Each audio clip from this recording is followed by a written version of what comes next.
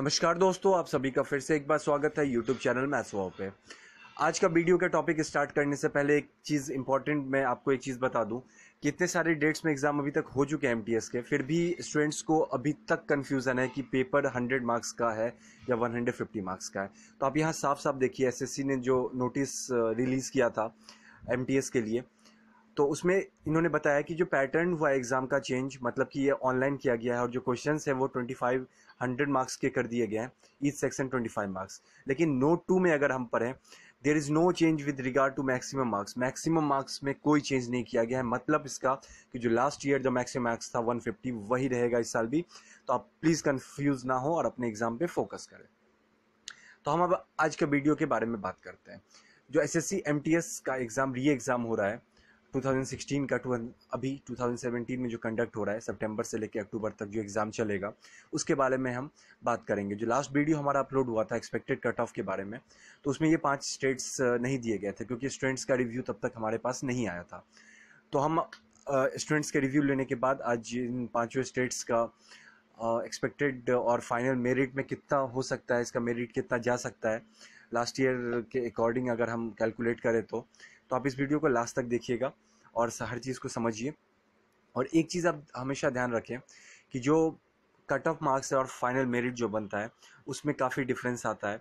किसी किसी स्टेट में कट ऑफ़ मार्क्स ही फाइनल मेरिट बन जाता है किसी किसी स्टेट में।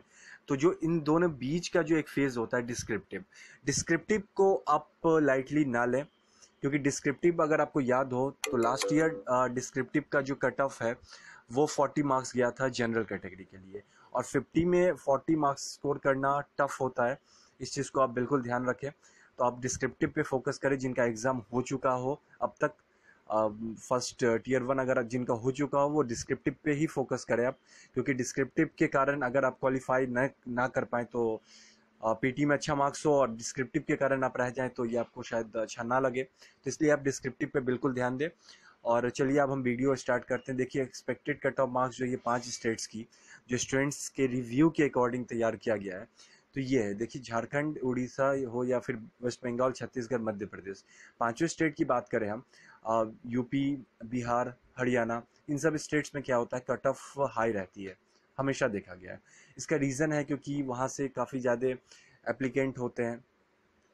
तो इस वजह से वहाँ का कट ऑफ़ जो है वो हाई हो जाता है। तो ये पाँच स्टेट्स का दिया गया है। अगर इस बीच में आपका मार्क्स है अब जिस भी कैटेगरी में है, अगर इसमें आपका मार्क्स है तो बिल्कुल आप सेफ़ हैं, आपको चिंता करने की ज़रूरत नहीं है। इससे ज़्यादा कट ऑफ़ नहीं हो सकता है और इससे कम भी, कम का भी चांस नहीं है कि इससे कम भी कट ऑफ़ हो सकता है। तो इस बीच में अगर आपका मार्क्स है तो आप बिल्कुल सेफ़ हैं, आप डिस्क्रिप्टिव के लिए प्रिपरेशन करना स्टार्ट कर दें।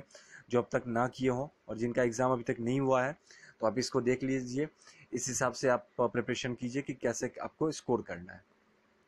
उसके बाद अगर हम एक्सपेक्टेड फाइनल मेरिट की बात हम करें तो देखिए कट ऑफ़ से ऐसा देखा जाता है, जो कट ऑफ़ होता है, उससे पाँच या सात मार्क्स जो होता है, वो मिनिमम जो होता है उस स्टेट का मेरिट लिस्ट तैयार होता है। मतलब कि जो 112 मार्क्स दिया गया है यहाँ पे 112 से 117 मान लीजिए 150 फाइनल 115 जो है फाइनल मेरिट तैयार होता है झारखंड का।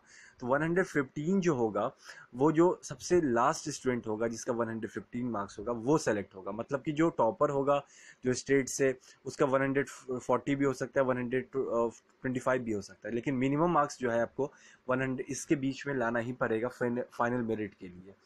तो ये, आप जिस भी स्टेट्स में है, ये चेक कर लीजिए। अगर आपका मार्क्स इस बीच में है या इससे ज़्यादा है तो आप बिल्कुल फाइनल मेरिट में सेलेक्ट होंगे।